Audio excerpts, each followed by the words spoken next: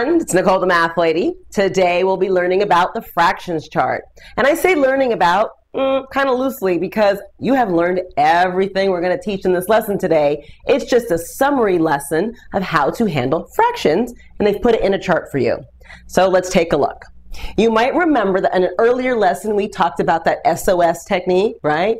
First, we're going to shape our fraction to get it into the right format.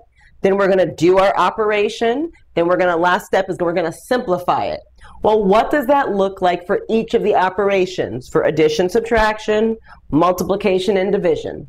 Let's start with addition, subtraction. Well, the first thing we have to do when we are adding fractions, for example, let's say I had the fraction 4 fifths plus 2 thirds. Can I work on that right away? No. So what do I have to do? I've got to get them to have a common denominator. So that's how shape looks when we're adding and subtracting. So I'm going to write common denominator in here. Okay. So once I have found a common denominator, here that would be 15. Let's go ahead and just do it. Uh, 12 fifteenths plus 10 fifteenths, okay? Now, we would go ahead and do our operation. I would add here, or if there was a subtraction sign, I would subtract. So I'm in here, for the operate, I'm gonna write add or subtract. So this one would be 22 fifteenths. Okay, now what about the last part, which is simplify? So I either have to reduce my fraction or I also have to and or convert it from an improper fraction to a mixed number. So here I would do, well, 15 goes into 22 once, and there'll be 7 left over, 1 and 7 15. So we're either going to reduce and or convert.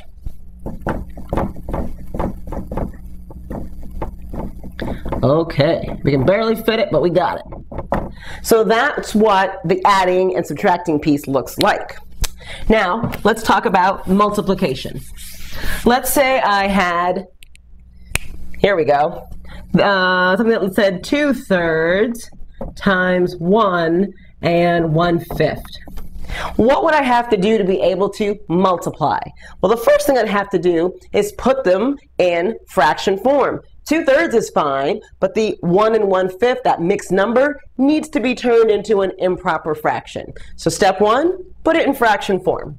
And by the way, that also happens to be for division, right? There's a division sign in here. I can't do anything with it until it's in an improper fraction form. So here we go. Fraction form. Put it in fraction form. Okay, so let's do that. This would be 2 thirds times 5 times 1 is 5 plus 1 is 6, 6 fifths. And now, for multiplication, I would just multiply across, right? 2 times 6 is 12, or 3 times 5. And if I could cancel first, I would cancel. So I'm going to say cancel, then multiply. Whoops. Then multiply. Now I'm going to go ahead and finish off my um, multiplication category because division gets a little hairy in there, changes up a bit. So uh, I'm going to cancel first. I've got a 3 here and a 6 here. And now I can multiply. 2 times 2 is 4, and my bottom is fifths. Now, if in this problem, I don't have to do any simplification, but if I did, at this point, I would do the same thing. I'd reduce and or convert. That's always the last piece. You have to look to see if you can reduce and or convert. Okay, now notice I have this big gaping hole here for the division. It starts out the same, put it in fraction form, but when we get here, let's say I had a division sign here. Let's go ahead and change this up. All right, so we did our 2 thirds, and let's say this was a division sign, divided by put it in the fraction form. 5 times 1 is 5, and 1 is 6 fifths. We'd have to do something first with this division sign, wouldn't we? First, we'd have to change our division to multiplication. Let's do it over here where I have room. That would be turned into a multiplication sign, and my 6 fifths would be turned into its reciprocal. Right? So in that box, I'm going to say the division goes to multiplication, and the fraction goes to its reciprocal. There we go.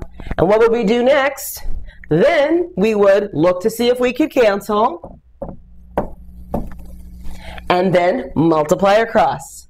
5 times 1 is 5, 3 times 3 is 9. Which means, essentially, we jump right back to here.